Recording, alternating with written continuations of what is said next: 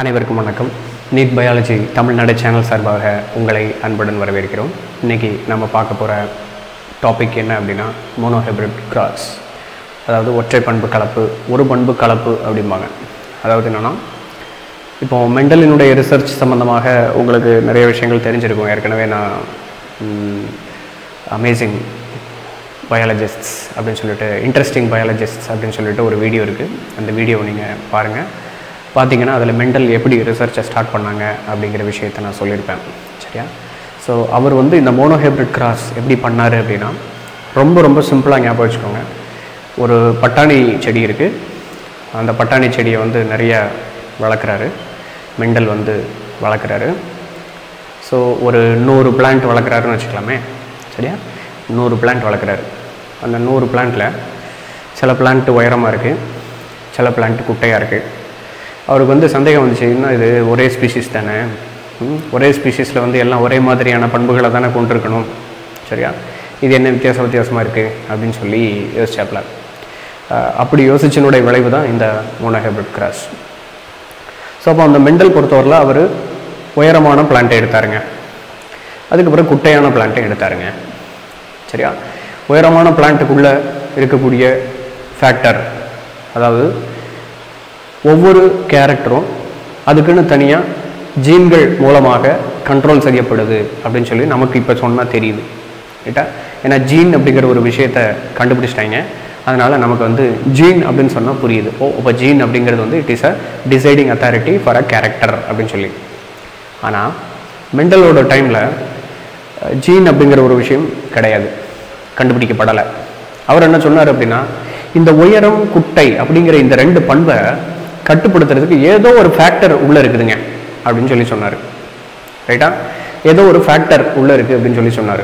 காரணி அப்படின்னு சொல்லி நம்ம தமிழில் சொல்லுவோம் இல்லையா? அது உள்ளே இருக்குது அப்படின்னு சொல்லி சொல்கிறார் அந்த ஃபேக்டர் தாங்க இந்த உயரமான பிளான்ட்டை வந்து கண்ட்ரோல் பண்ணுது. சரியா? அந்த ஃபேக்டர் தாங்க குட்டையான பண்பு அப்படிங்கிற ஒரு விஷயத்தையும் கண்ட்ரோல் பண்ணுது அப்படிங்கிறத சொன்னாப்ல மேக்ஸ் பீப்புள்ஸ் பொறுத்தவரையில் வந்து கன்சிடர் அப்படிங்கிற ஒரு விஷயத்தை சொல்லி அதை ப்ரூவ் பண்ணுவாங்க. ரைட்டா அதே மாதிரி தான் நம்மளும் கன்சிடர் அப்படின்னு சொல்லி சொன்னாப்புல. ரைட்டா consider capital T capital T சரியா? கேபிட்டல் டி கேபிட்டல் டி அப்படிங்கிற ஒரு விஷயம் வந்து consider this is a factor for the expression of tall character அப்படின்னு சொல்லி சொன்னாப்புல. சரியா? உயரமான பண்பினை கட்டுப்படுத்தக்கூடியதுக்கு கேபிட்டல் டி கேபிட்டல் டி அப்படிங்கிற ஒரு ஃபேக்டர் உள்ள இருக்கு. என்று கொள்க அப்படின்னு சொல்லி சொன்னாப்ல. ரைட்டா? அதை ஏன் கேபிட்டல் டி கேபிட்டல் டி அப்படின்னு கொள்ளணும்? அதை ஒரு டீ மட்டும் வச்சா என்ன? அப்படின்னு சொல்லி கேட்டாங்க நிறைய பேர். சரியா?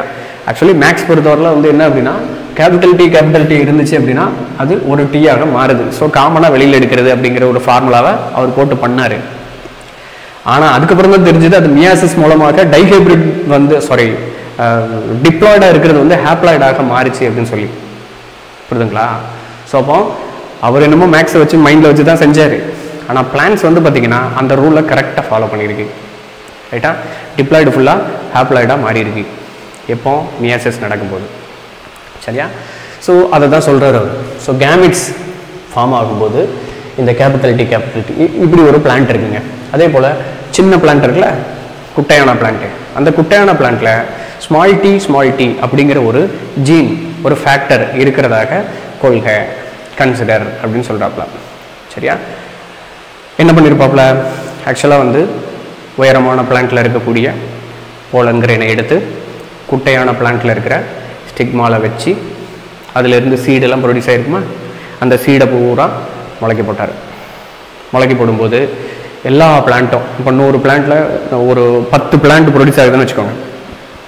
பத்து சீடு ப்ரொடியூஸ் ஆகிருக்கு ரைட்டா உயரமான பிளான்ட்டில் இருக்கிற போலன் போலங்கிரன்ஸ் எடுத்து குட்டையான பிளான்ட்டில் இருக்கக்கூடிய ஸ்டிக்மாவில் கொண்டு போய் வச்சார். வச்சதுக்கப்புறம் பத்து சீடு ப்ரொடியூஸ் ஆகுது.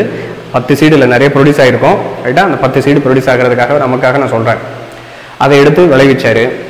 பத்துமே உயரமாக இருந்துச்சுங்க. ரைட்டா பத்துமே உயரமாக இருந்துச்சு. உடனே அவருக்கு யோசனை வந்துட்டு உயரமான பிளான்ட்டையும் குட்டையான பிளான்ட்டையும் கலப்பினம் செய்யும்போது உயரம் அப்படிங்கிற ஒரு கேரக்டர் மட்டும்தான் வந்துச்சு. குட்டைங்கிற கேரக்டர் எங்கே காணும்? அப்படின்னு யோசிச்சாப்ல. அதாவது இந்த ஸ்மால் டி ஸ்மால் டி அப்படிங்கிற ஒரு ஃபேக்டர் இருக்குல்ல அது எங்கே போச்சு அப்படின்னு கேட்டாங்க. அவரே அவரே அவரை கேட்டுக்கிட்டாரு. சரியா? உடனே வந்து சரி அப்படின்னு சொல்லிட்டு அதை திரும்ப self pollination பண்ணுறாப்புல so capital T capital T வந்துடுச்சு. கேபிட்டல் டி ஸ்மால் டி வந்துடுச்சு சாரி சரியா? So capital T small T அதாவது அவர் என்ன சொல்கிறாரு இந்த கேபிட்டல் டி அப்படிங்கிறது வந்து டாமினன்ட் கேரக்டராக ஓங்கு பண்பாம். ரைட்டா இந்த ஸ்மால் டி அப்படிங்கிறது வந்து பார்த்தீங்கன்னா ஒடுங்கு பண்பான் சரியா?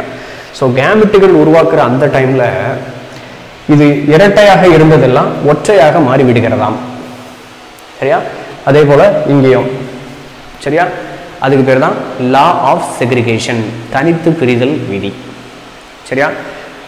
நம்ம வந்து தனித்து பிரிதல் விதி அப்படின்னா கேட்ட உடனே நீங்கள் வந்து என்ன எழுதுவீங்க? டிப்ளாய்டு ஃபுல்லாக ஹாப்ளாய்டாக மாறுறது. அப்படின்னு எழுதிடலாமா? அப்படி எழுதக்கூடாது. நீங்கள் புரிஞ்சு வச்சுக்கிறது அதுதான் புரிஞ்சு வச்சுக்கணும். டிப்ளாய்டு வந்து ஹேப்ளாய்டாக மாறுறது தான் தனித்து பிரிதல் விதி லா ஆஃப் செக்ரிகேஷன் ரைட்டா அப்போ இங்கே எழுதும்போது எப்படி எழுதணும்? டிப்ளாய்டு ஹேப்ளாய்டாக மாறணும் எழுதக்கூடாது. அதுக்கு தனியாக ஒரு டெஃபினேஷன் வச்சுருக்காங்க பாருங்கள் அந்த டெஃபினேஷனை நான் சொல்கிறேன் so law of segregation law of dominance நான் அப்புறம் சொல்கிறேன் ரைட்டா law of segregation during the formation of gametes the factors of alleles factors or allele of a pair okay ஃபேக்டரினுடைய ஒரு பேர் இருக்கு. ஓகே ஃபேக்டரினுடைய ஒரு பேர் அந்த பேர் வந்து separate and segregate from each other சரியா? Each gamete receives only one of the two factors புரியுது இல்லையா இப்போ?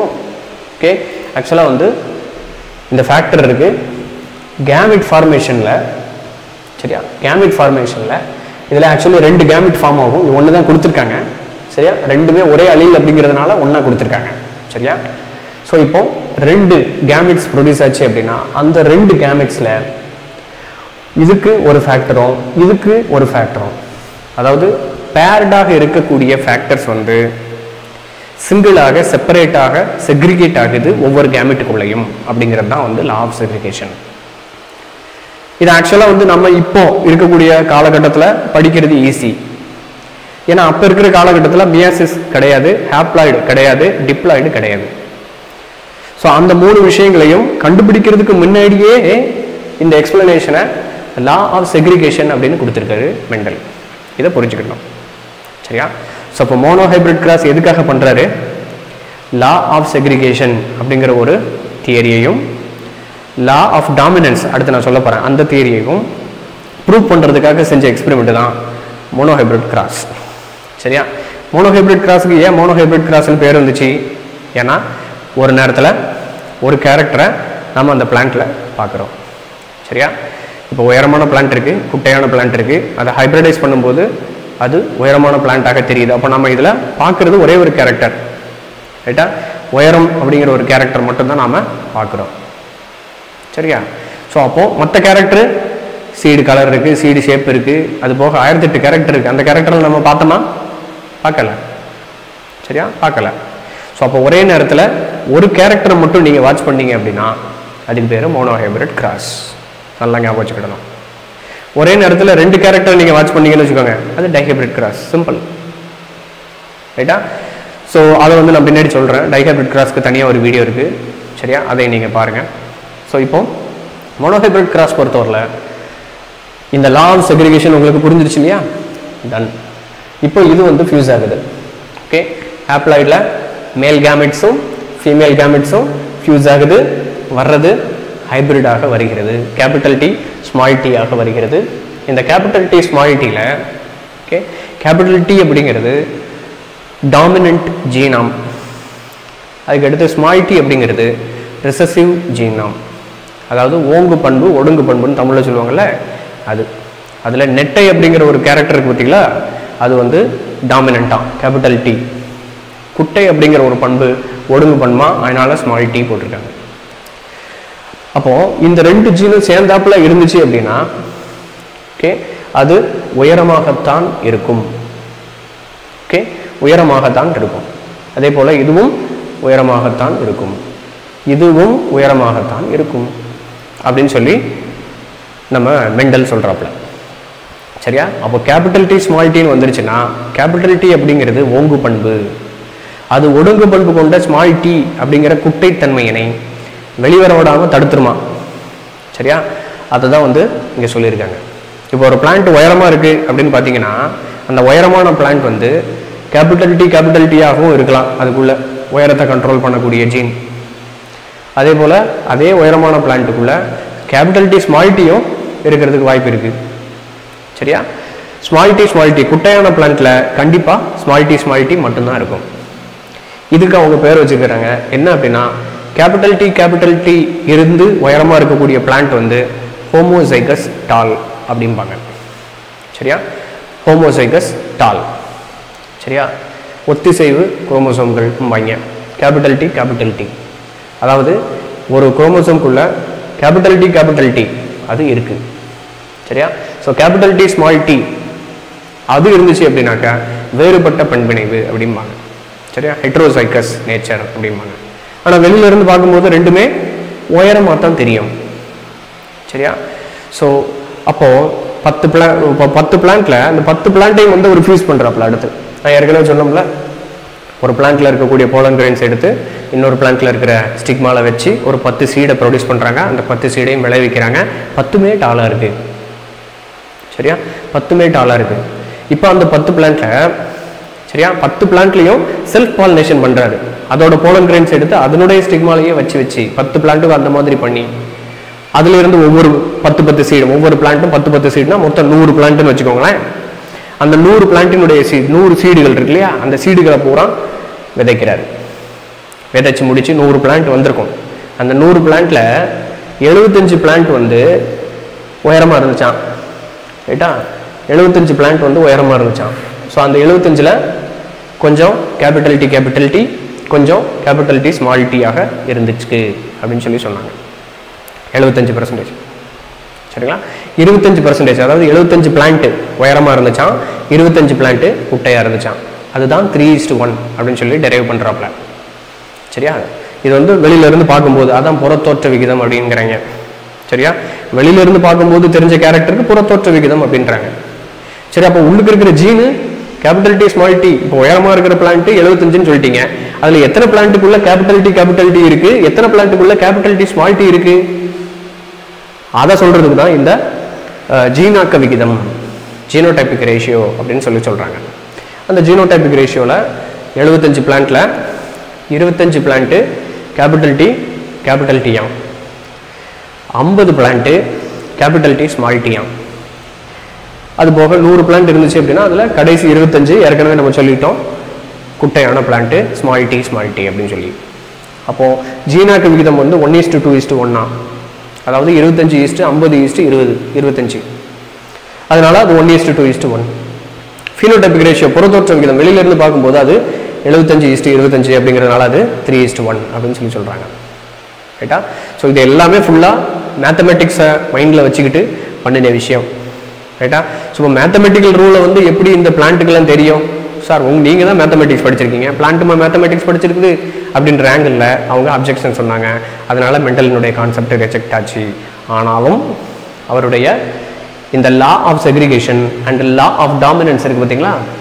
ஓகே இந்த ரெண்டும் கரெக்டாக வேலை செஞ்சிச்சு. எல்லா பிளான்ட்லேயும் இன்றைக்கி வரைக்கும் வேலை செஞ்சுட்டு இருக்கு. ஞாபகம் வச்சுக்கோங்க.